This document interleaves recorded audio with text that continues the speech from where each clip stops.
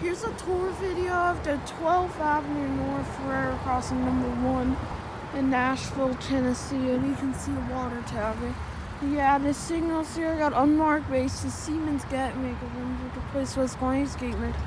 Got WRS West Coins, Cameras and West Coins, LED.